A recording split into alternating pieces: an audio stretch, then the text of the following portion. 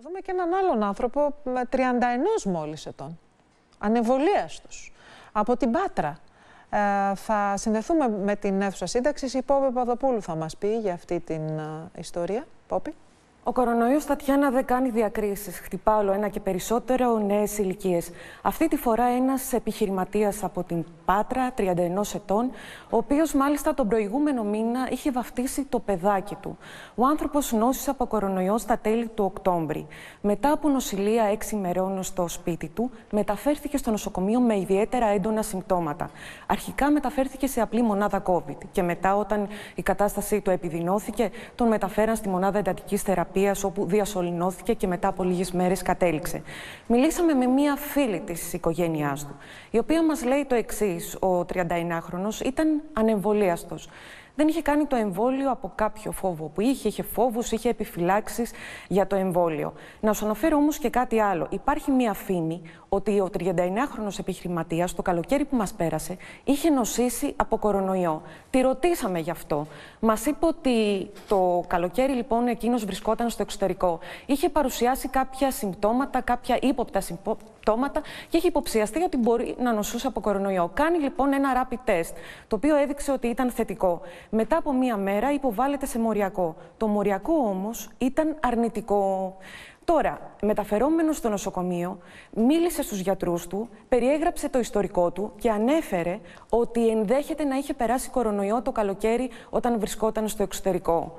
Ο Μάλιστα... άνθρωπος δηλαδή νόμιζε Νόμιζε ότι, ότι μπορεί να είχε περάσει κορονοϊό εξαιτίας ενός rapid test, το οποίο είχε βγει θετικό, ενώ τελικά το μερογειακό βγήκε αρνητικό. Ακριβώς. Από ό,τι φαίνεται δεν τον είχε περάσει, γιατί αν τον είχε περάσει θα, θα είχε, είχε ενδεχομένω ναι. ενδεχομένως να τα είχε καταφέρει. Α δούμε το βίντεο.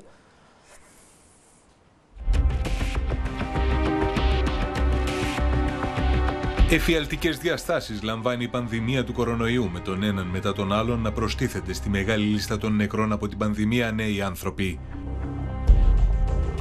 Ένας επιχειρηματίας μόλις 31 ετών έφυγε από κορονοϊό ενώ ήταν διασωληνωμένος στη μονάδα εντατικής θεραπείας του Πανεπιστημιακού Νοσοκομείου του Ρίου. Νος, γύρω στις 28 Οκτώβρη. Για έξι μέρες ήταν εντάξει στο σπίτι με ήπια συμπτώματα μιας απλής ίωσης. Μετά από την έκτη μέρα μου λέει σήμερα δεν είμαι πολύ καλά, ανέβασα λίγο πυρετό και έχω δύσπνοια. Τα ξημερώματα θα πήγε η αδελφή του Άρων Άρων στο νοσοκομείο όπου εκεί του φόρεσαν κατευθείαν τη μάσκα του οξυγόνου. Νοσηλεύτηκε στην κλινική του COVID για μια μισή με δύο μέρες περίπου ε, αλλά επειδή δεν ε, βλέπα να βελτιώνει την κατάσταση, διασωληνώθηκε κατευθείαν. Έμεινε μέχρι που κατέληξε στη ΜΕΘ διασωληνωμένος.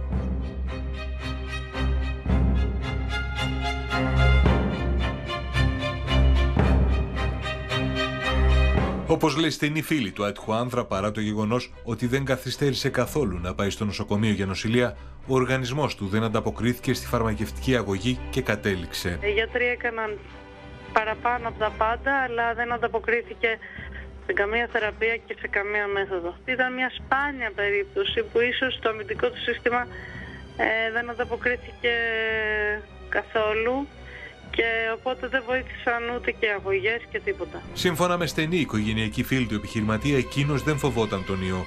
Πίστευε ότι λόγω του νεαρού της ηλικίας ο οργανισμός του θα μπορούσε να ταπεξέλθει. Αυτός ήταν και ο λόγος που ανέβαλε συνέχεια το ραντεβού για τον εμβολιασμό. Είχε κάνει το εμβόλιο; Όχι, όχι.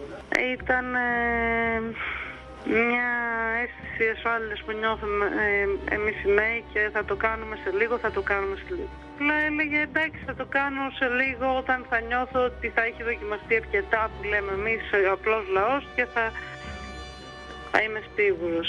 Όλοι οι γιατροί ε, ήταν ε, υπέρ του εμβολιασμού και δηλαδή απογοητεύτηκαν όταν άκουσαν ότι δεν ήταν εμβολιασμένος. Πιστεύουν ότι αν είχε εμβολιαστεί δεν θα είχε αυτή την κατάληξη. Μπορεί να μην είχε καν νοσηλευτεί.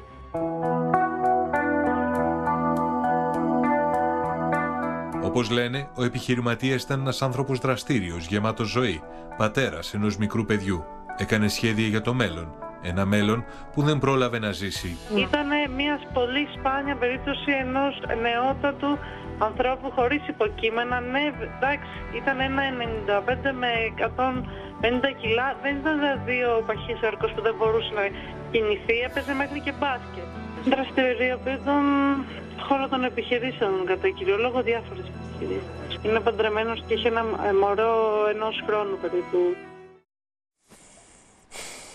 Χωρίς υποκείμενα, έτσι. Γιατί όταν είσαι 95 και έχεις αυτά τα κιλά, δεν θεωρείσαι παχύσαρκος. Έχεις κάποια κιλά επιπλέον, αλλά δεν είσαι αυτό που λέμε, δεν είσαι νοσογόνο παχυσαρκία με αυτό το ύψος, έτσι.